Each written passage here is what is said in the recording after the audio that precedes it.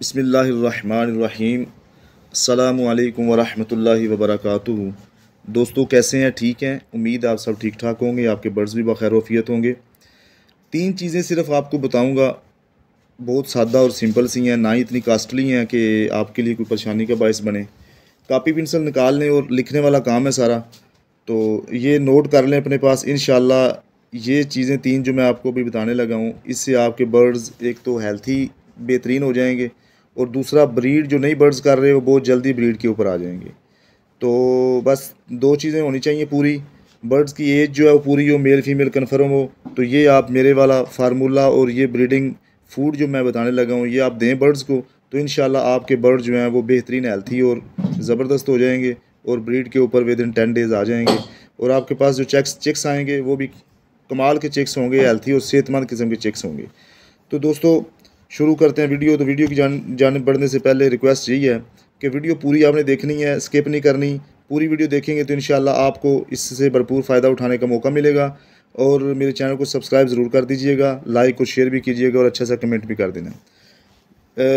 Egg shell आपने ले लेने हैं, ये बाज़ार से मिल जाते हैं एग शेल किसी बर्गर वाली दुकान से जाएँ एग शेल आपने ले लेने हैं। इनका, इनको उबाल लेना है। उबाल के फिर इनका आपने पाउडर बना लेना है। ये अपने पास आपने काफ़ी सारा पाउडर बना के अलग से एक शीशी में रख लेना है। इसके बाद आपने लेना कटर फ़िश बोन।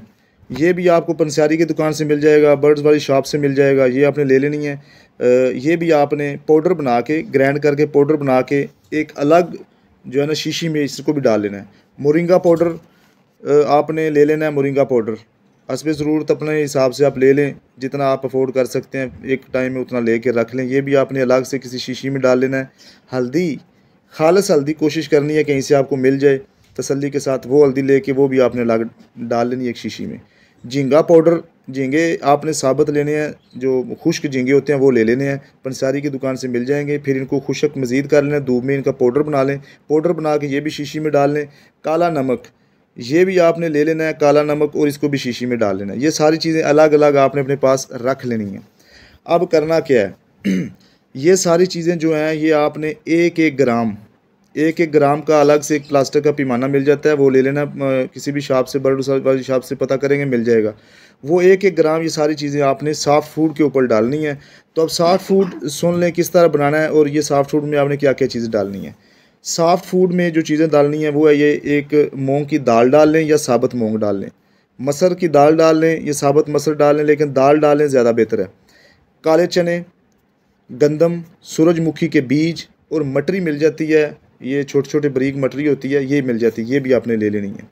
ये सारी चीज़ें आपने आ, अपने बर्ड्स के हिसाब से इनको भगो के रख लेना है। और ये जब सही रात भर भगोई रखेंगे ना तो फिर ये सुबह तक बेहतरीन सॉफ्ट हो जाएँगे।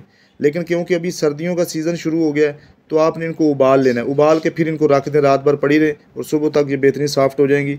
इनको आपने जो है ना ब्रीक कर लेना है। चाहे ये उसके साथ ग्राइंडर में हल्का सा इनको ब्रीक कर लें, या इनके ऊपर कोई चीज़ लगा के, मार के इसको ब्रीक कर लें, जैसे दोरी डंडे में कर लेते हैं ब्रीक तो इस तरह ये करना चाहते हैं ब्रीक कर लें। थोड़ा सा ये ब्रीक कर लेना, ताकि काले चने क्योंकि बर्ड्स जो है, जावा जो है, ये नहीं खा सकते।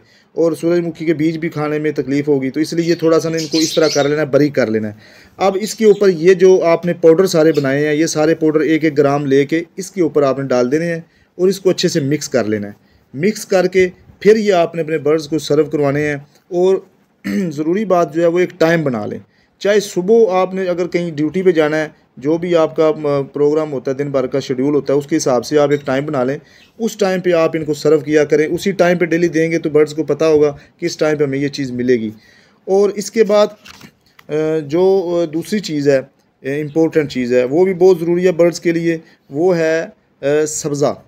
सब्ज़ा, इसमें कुछ और भी चीज़ें मिक्स होंगी, वो मैं आपको बताता हूँ। आपने क्या करना है? पालक ले लेनी है। थोड़ी सी पालक लेनी है। पालक का ज़्यादा इस्तेमाल नहीं करना, क्योंकि पालक जो होती है, बर्ड्स को ज़्यादा हीट वाली होती है, पेचस भी लग सकते हैं। इसलिए इसका असब ज़रूरत एक पेड़ के लिए एक पत्ता काफ़ी है। पालक आपने ले लेनी है, बंद गोभी आपने ले लेनी है, बंद गोभी जो है, ये भी अपने बर्ड्स के हिसाब से अपने आपने डाल लेनी है, बंद गोभी का कोई नुकसान नहीं है, बेहतरीन है विटामिन से भरपूर है। मेथी आपने ले लेनी है, मेथी ज़्यादा नहीं डालनी, इसकी भी एक पेड़ के लिए दो टहनियाँ काफ़ी होती हैं। गाजर आपने ले लेनी है, जितनी आपका दिल करे चाहे डाल लें। चकंदर आपने डाल लेनी है, इन सब चीज़ों को आपने ग्राइंडर में मिक्स गाजर और चुकंदर को आपने अलग से मैश कर लेना, बिल्कुल बरीक, ज़र्रा ज़र्रा इसको कर लेना, चाहे ग्राइंडर में आप या ये कद्दूकश के साथ कर लें, लेकिन बरीक कर लेना। अब इन सबको मिक्स कर लें, क्योंकि जो आपने पालक, बंद गोभी और मेथी है, ये आपने छुरी के साथ या किसी कैंची के साथ इनको बिल्कुल बरीक, ज़र्रा ज़र्रा कर लेना है, ताकि बर्ड्स को खाने में आसानी रहे। और बाकी जो चीज़ें मैंने आपको बताई हैं ग्राइंड कर लें, हल्का सा, वो भी बारीक हो जाए। तो इन सबको आप मिक्स कर लें, मिक्स करके ये आपने अपनी टाइमिंग बना लेनी है। एक दिन या दो दिन सॉफ्ट फ़ूड दे दें दो दिन ये जो सब्ज़ा है, ये दे दें। लेकिन जो आपने पाउडर बनाए हुए हैं सारे, ये आपने डेली आपने इनको देने हैं। कोई इसका नुकसान नहीं है और इसका मकदार भी इसकी इतनी ज़्यादा नहीं है। ये आप डेली इनके ऊपर डाल दें। तो एक दिन आपने कर लेना है एग ब्रेड। एग ब्रेड जो है वो भी आप बना कर रख लें, एक दिन वो कर लें। तो इस तरह आपने ये हफ़्ते का अपना शेड्यूल बना लेना बदल बदल के दें ताकि बर्ड्स तंग भी ना हो रोज़ एक ही चीज़ खाने में। तो वो इंशाल्लाह ये बड़े शौक से खाएँगे और आपके बर्ड्स बड़ी जल्दी ब्रीड के ऊपर आ जाएँगे। ये मेरा बेहतरीन तरीक़ाकार है और फार्मूला भी है और ये ब्रीडिंग फ़ूड भी है। अभी ब्रीडिंग का सीज़न आ गया ब्रीडिंग सीज़न में ये आप इनको दें। गर्मियों में नहीं ये देना चाहिए, सर्दियों में आप ये ब्रीडिंग फ़ूड है, बेहतरीन है। आप ये दें अपने बर्ड्स को इनशाला एक तो बर्ड्स हेल्थी और सेहतमंद रहेंगे। दूसरा ये है कि बर्ड्स ब्रीड की तरफ़ जल्दी आ जाएँगे। अगर चिक्स हों तो तब भी दें, कोई इशू नहीं है। चिक्स आपके जो हैं वो जल्दी सेल्फ हो जाएँगे और इस तरह आपके पास अच्छी एक ब्रीड होगी और इन आप इससे ज़रूर फ़ायदा उठाएँगे। मिलते हैं एक नेक्स्ट वीडियो में, तब तक लिए आपसे इजाज़त चाहता हूँ। असलकुम